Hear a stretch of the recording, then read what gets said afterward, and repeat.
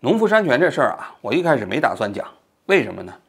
因为我看了这些网上的营销号发这些视频呢，我觉得人只要但凡有一点最基本的判断力，都不会相信这些营销号所说的东西有什么说服力。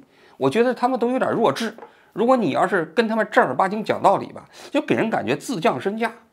所以呢，这个新闻啊，虽然说已经热了一段时间啊，我就一直没下决心讲。但是这个新闻应该说有两点出乎我的意料之外。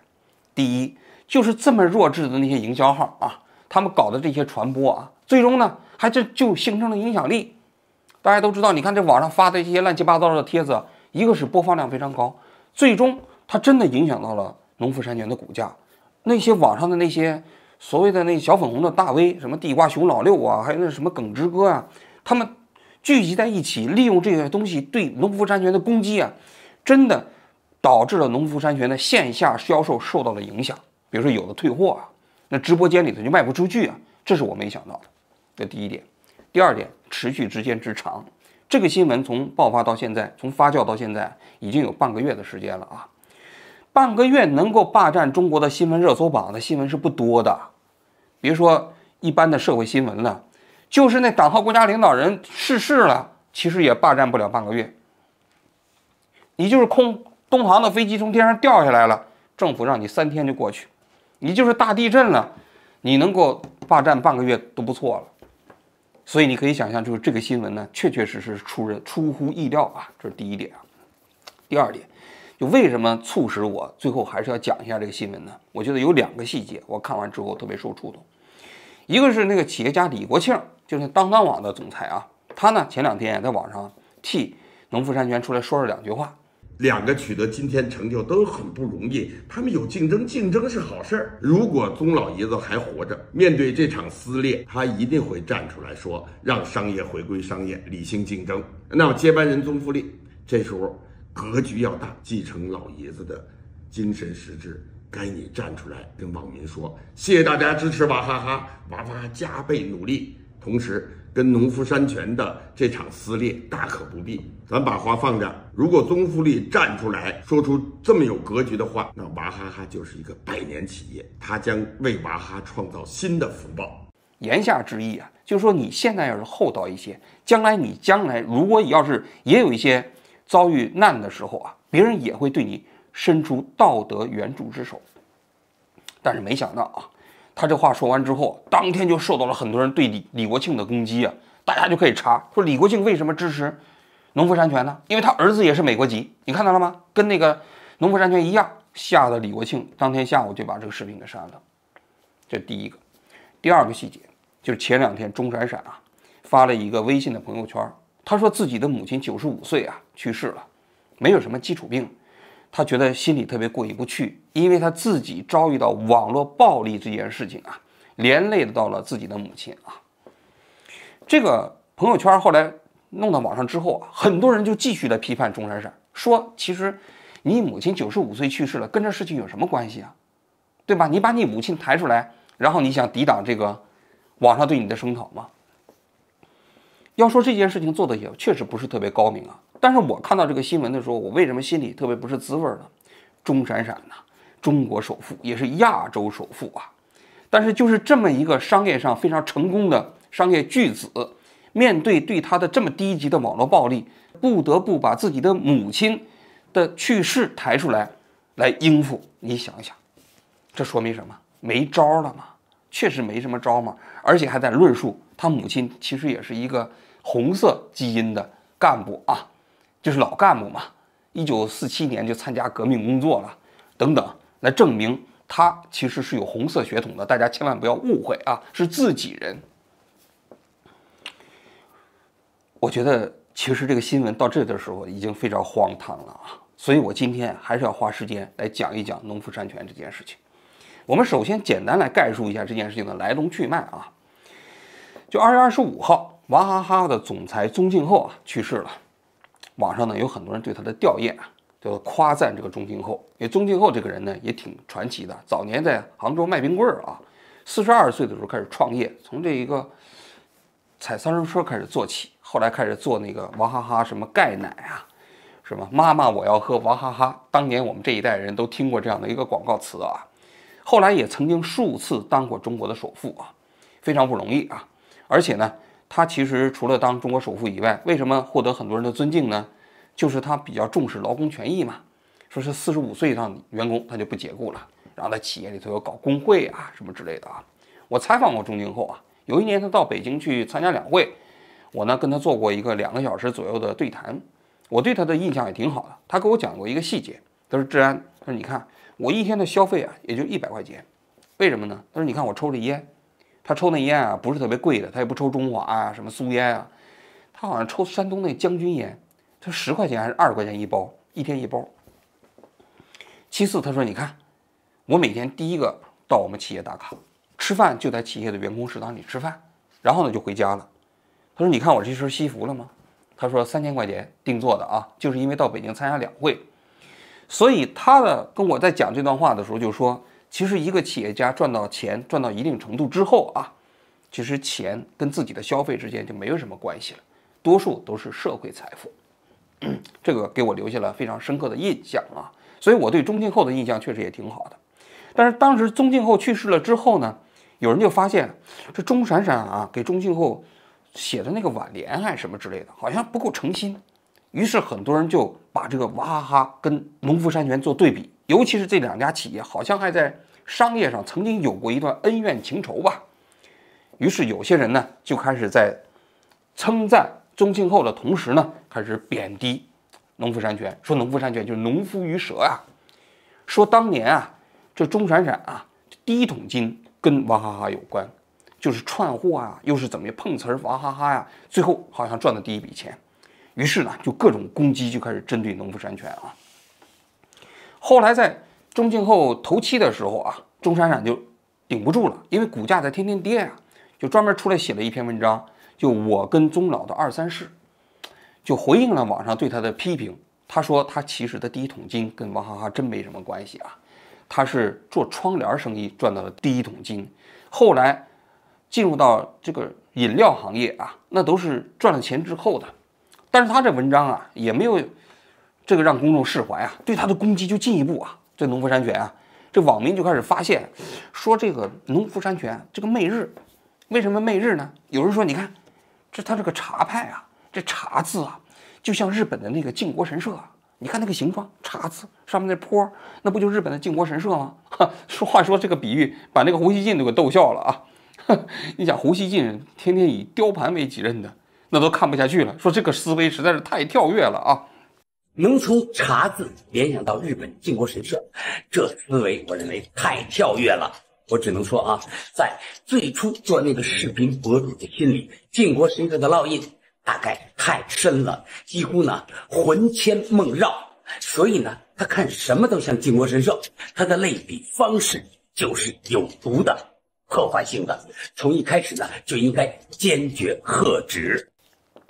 那还要发现很多其他的，说那当时他们有个叫东方什么什么什么叶儿什么之类的那个饮料啊，说那个标志啊像那个日本的浅草寺的五重塔，哎，你瞧你瞧瞧，这都是媚日啊！你中国的饮料为什么搞成日本的呢？还有更 夸张的，说那农夫山泉的瓶盖是红色的，那有点像日本的太阳旗。我看到网上有人说了嘛，鸡蛋切开之后，他说你看这不像日本的太阳旗吗？这鸡蛋还能吃吗？是吧？总而言之啊。就是这些特别弱智的言论，在网上开始大行其道，都开始声讨这个农夫山泉啊。除了这个之外呢，很快就有人开始发现啊，说这个农夫山泉的这个钟闪闪的儿子还是美国籍。说是美国籍，那就问题严重了。你要知道，这个胡锡进特别有意思啊。当第一轮开始攻击农夫山泉的时候，他开始替农夫山泉说话，他说这个对媚日都没什么道理。紧接着有人扒出来钟闪闪的儿子是美国籍的时候，胡锡进就开始觉得不太对了，就开始退话呢，也开始往回圆呢。我所以我就说胡锡进这个人呢，就是他不够勇敢，他不够坚决，他你只要网民的那个声音大一点，他就开始往回撤。毕竟是做雕盘出身的，他就再看不过去啊，他实际上他也内心没有骨气呀，知道吧？没有勇气坚持他自己内心认为正确的事情。那钟闪闪的儿子被扒出来是美国籍的时候呢，整个风向那就到了一个新的台阶嘛。说你想想，这么大一个企业，将来会传给谁？肯定传给他儿子了。传给他儿子以后呢，这企业就变成美国人的企业了，这还得了？所以攻击开始铺天盖地啊。钟闪闪的儿子叫钟树子，是美国籍。那问题就来了，他入籍美国了，他接了班，在中国赚到的钱，你觉得他会放到哪里去？让客人进店就问为什么还卖农夫矿泉水，走的时候跟我说，如果再卖农夫就不来你店里了。我现在把水全部都下架了，但是不知道这些东西该怎么办。这个农夫的全部撤下来。那你的。过来一下，这个立马下架。昨天晚上不是跟你说过了吗？咱们所有门店的矿泉水统一入挖了。这种东西只配进垃圾桶，只配进下水道。那么差不多，整个这过去的半个月啊，这个舆论就是到到基本这么一个来龙去脉啊。我今天想讲一个什么话题呢？我并不想再说这些网络暴民的这个这个内容了啊。我觉得这个没什么可讲的了，那就是弱智嘛，加上那些那些。网上的一些小粉红啊，呼风唤雨呀，形成的这样一种舆论，确确实实，这种反制言论现在是国内舆论场的一道风景。这已经过去，我也讲过很多次了。我今天想讲什么？我讲中国的企业家啊，一旦要是做大了，他有几种保命方式。我自己个人总结啊，大概有三种。第一种啊，就是要跟政治权力相结合。你比如说像马化腾啊、李彦宏啊、雷军呐。啊，刘强东啊，就这些企业家，你看到了吗？做大以后都拼命的想成为人大代表和政协委员，因为你在中国成为了人大代表和政协委员呐，你就可以跟权力走得更近。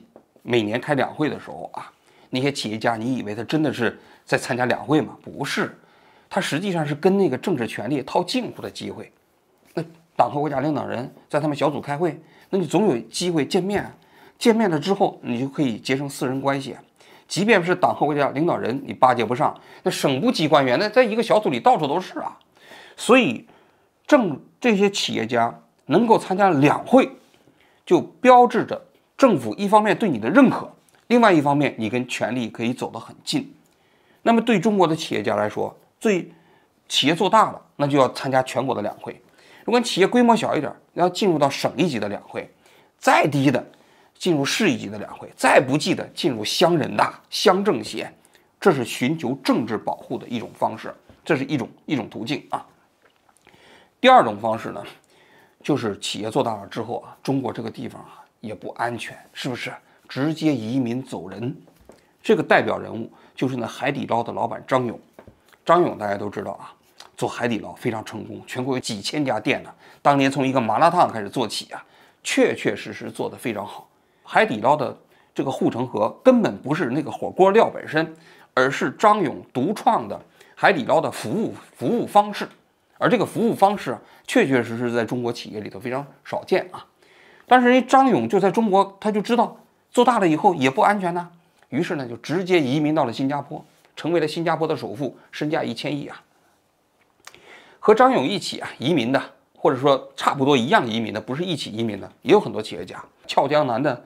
那董事长王小飞他妈张兰，比如江南春，还有段永平，这些人都是在发达了之后直接移民了。当然，那种小规模的，身价有几个亿的移民的多了去了啊。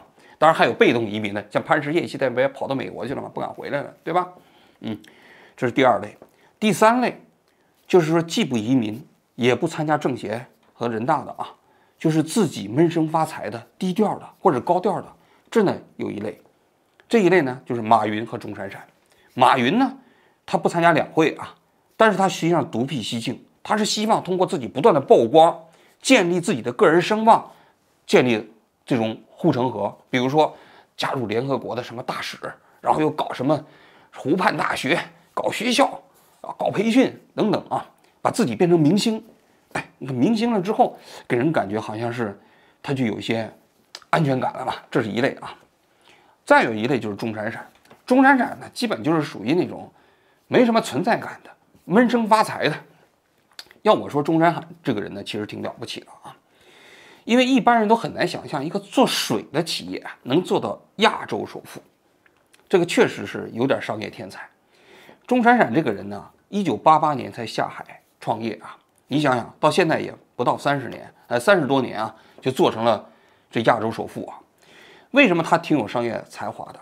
我觉得其实做水的行业，在他那个时代啊，一般人对饮用水不安全嘛，大家都觉得水污染嘛，这是一个普遍的民众焦虑心理。但多数企业当时都是做纯净水，就是把那水拿来过滤一下就给老百姓卖。但是钟闪闪独辟蹊径，他就是开始去找天然水的水源。他最早开始搞的这个农夫山泉，它的水源地就是在千岛湖。千岛湖大家都知道，浙江那个非常有名的一个人工湖啊，水源的质量特别好，一类水的标准可以直接喝。所以他走的路从一开始就跟那些企业不一样。后来呢，他在全国各地一共陆陆续续找了十几个啊，这么一个水源地，比如东北的长白山，在靖宇县的大山里头，他找到一个水源，在广东万绿湖，然后呢，这个湖北的丹江口水库，丹江口水库大家都知道，中国最大的人工湖啊，七百多平方公里啊，它的水质常年都是国家一类标准啊。北京现在南水北调，天津用的这些水都是从丹江口水库运过去的啊。他把这个水源控制了，其实就成为了他最大的壁垒。所以你看，原在跟其他的一些饮料企业在在斗争的过程中，或者商战的过程中，他反复提的就是我们实际上是天然水，对方不过是纯净水。他当年跟康师傅打的时候啊，最后大家才发现康师傅的水其实就是自来水，过滤了一下就卖过卖给大家了嘛。但是呢，农夫山泉的水呢，那不一样啊，那它是天然水啊，天然水。在过滤的过程中间，它没有过滤嘛，它还保留了一些对人体有价值的这样的一些微量元素，所以天然水更健康，这应该是国际健康界的一个共识。大家可以看一下国际上啊卖的最好的水，那么法国的依云，那在全世界几乎超市都有卖的，那不就是水源地控制住了吗？所以钟闪闪这个人，我觉得特别有商业才华，所以人家可以通过卖水卖到了亚洲首富，真的很了不起。真的很很有商业才能，大家也不要小看水啊，那一瓶康师傅的矿泉水啊，毛利润六毛钱，你想想，这跟印钞差不多呀。所以对于水来说，最大的成本其实是营销，只要营销做得好，其实这个水啊卖好了，就是真的是跟印钱一样的。那么钟闪闪啊，他其实生存方式就我说的，就是通过低调的闷声发财的方式，就不引起大家的关注。这样的话，你总不会随便的去去讨伐他吧？但是没想到啊，我个人觉得啊，这实际上是呃闭门家中坐，祸从天上来。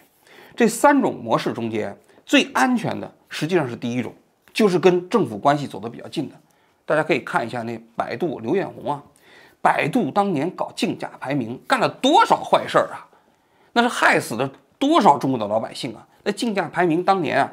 最令人诟病的就是那莆田系的医院，那些医院呢都是谋财害命的，但就是因为给百度交了钱，百度你只要一百度出来，老百姓看病就全去那儿了。结果呢，不但看不好病，把自己命也搭进去了。多少个案例？但是百度有事儿吗？百度没事儿啊。百度每年给中央电视台交几千万的广告费，然后自己当了政协和全全国人大代表之后呢，这个稳坐钓鱼台啊，这就是中国的现实啊。政府不怕企业家做坏事，政府怕的是企业家不听话，因为政府就天天干坏事嘛，他在乎你做坏事吗？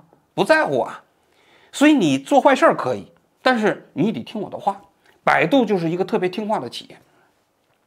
美国搞个什么东西，他也要搞一个东西；美国搞 AI，他也搞 AI；美国搞什么自动驾驶，他也搞自动驾驶；美国搞导航，他也搞导航，无条件的听党的领导。那马化腾也差不多啊。就是这个政府说要捐钱，他就捐一千亿，然后呢又说什么社会责任，他连夜绣红旗开始写写写文章啊，发在这个《求是》杂志上了所以你看，这这些企业家就是通过跟权力走得非常非常近来获得安全感。那刘强东虽然后来出了那个丑闻之后啊，也让他辞职，也没把他开除。要我说，那刘强东的事情早就该开除了啊，也没开除啊。只有那束昱辉。虽然说当了全国政协委员，但实在是放不到台面上。老大签字之后，直接抓起来了，那是少之又少的案例。所以你跟权力走得最近、最安全，在中国。第二类就是直接跑路嘛，像张勇这样的啊，我直接移民了，移民之后我变成外商了。张勇现在在回国的时候，外商嘛，你拿新加坡的护照嘛，那你总不能随便抓人家嘛。所以这也非常非常安全。最危险的就是这第三类。既不跟权力走得比较近，也不想移民的，这个你就随时面临各种各样的风险。这就是马云跟钟闪闪的。马云，你不要认为你把自己搞成明星以后你就安全，在中国没有马云的时代，只有时代的马云呐。说白了，如果你要是不把权力放在眼里，权力就一定会把你放在眼里，就这么简单。所以你看，马云这两年被折腾的这个灰头土脸，而钟闪闪呢？你以为你藏在浙江的一个地方，你就可以闷声发财？哪那么容易呀？是吧？你只要是不把权力放在一个。这个圣坛上，权力哪天随时也有可能找到你，这就是中国今天的社会现实。其实说白了，为什么很多企业家或者自己要移民，或者自己的孩子要移民，还不是觉得对中国的社会发展没有信心吗？还不是觉得中国的法治环境不足以保证他们的财富吗？不足以保证他们的企业发展吗？但是现在大家不问这个环境为什么变成这样。而是天天揪着郑闪闪的孩子，你为什么要移民美国？这不是本末倒置吗？你如果真的要让企业家就安安稳稳的在中国来发展企业，你应该创造一个法治环境，让他们可以心无这个担忧的在这里生生存和发展，而不是当他们已经吓得要跑了之后，你揪着他说你为什么要跑？其实这就是农夫山泉事件过程中间。在我看来，最大的公共问题，现在没有人敢问为什么这些企业家要跑，谁敢问呢？讨论的都是说你这么大企业了，你凭什么你的儿子要移民到国外去？其实凭什么？还不就是因为不放心吗？而且这里头，其实我给大家讲一个信息：你别看那些跟政治权力走得很近的那些企业家，好像是很爱国，但你看看他们的股权结构。多数这些企业都是外资的，你比如说京东，京东是中国的企业吗？你到美国的上市公司，你去看一下，那企业都是什么加勒比岛的、加勒比海的那些岛国控控股的，而且呢，京东的那个股权结构中间也是刘强东个人的家族信托基金控制的，跟爱不爱国真的没有什么关系。其实一个企业在一个国家里头，我们应该关注的是什么？关注的是这家企业是不是提供优质的产品，是不是正常纳税？我觉得，如果一个正常的社会只应该关注这两点，除此之外，你根本不应该关注。就算有一些企业家他移民到国外去了，也并不表明他不爱国。我给大家讲一下段永平。段永平当年小霸王什么之类的做完之后，他就移民到美国了。他投资苹果公司的股票非常成功，赚了大钱。这些年。他虽然说入了美国的国籍，光给浙江大学一个大学就捐款了十个亿以上，那你说他不爱国吗？所以我个人觉得这个根本不重要。一个企业家他是哪个国国家的国籍根本不重要。你就比如说张勇的海底捞，海底捞现在在中国非常受欢迎，但张勇是个新加坡人呢，有关系吗？没关系啊。我们在海底捞吃饭，他只要海底捞给我们提供了非常优质的服务、优质的产品，这就够了。至于张勇本身，他是新加坡人也好，是中国人也好，其实真的完全不重要。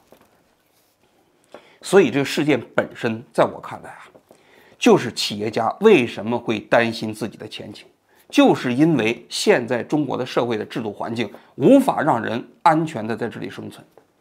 虽然啊，去年的时候，那经济形势不好的时候，那当时。两会开会的时候还说要做什么民营企业促进保护法，对民营企业要保护。网上还三令五申说，那网上抹黑民营企业的、敲诈勒索式的执法的要坚决打击。但是事情不过一年，那现在呢？对于农夫山泉这样的企业，就开始采用这种匪夷所思的方式，罗织罪名去网暴。那我们想问了，那是经济形势变好了，还是这个政策本身到期了？如果。这样的事情屡次三番五次的上演，那我相信钟闪闪不但自己的儿子会跑，他最终他也会跑。这里我还要给大家讲一个信息：其实农夫山泉在香港上市的时候，他反而没有采取那些所谓的爱国商人的那种股权架构，他的股权架构就是全内资的，他真的没有采用那种外资控股之后来收购内资的模式，不是很讽刺吗？真的以中国为家的企业，现在遭受到这样的围剿。那些已经摇身一变外资控股的企业，在中国的人大和政协里头高谈阔论。所以啊，我们看一件事情的时候，真的不要被表面的这个社会现实所蒙蔽。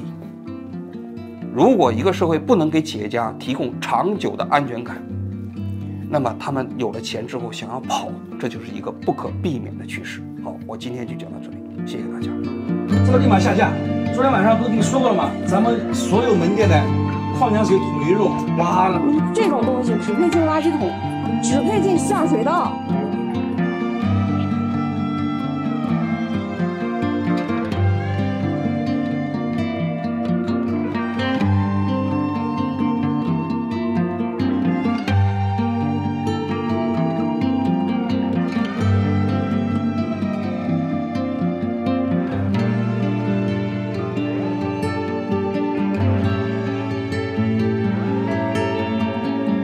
钟闪闪的儿子叫钟树子，是美国籍。那问题就来了，他入籍美国了，他接了班，在中国赚到的钱，你觉得他会放到哪里去？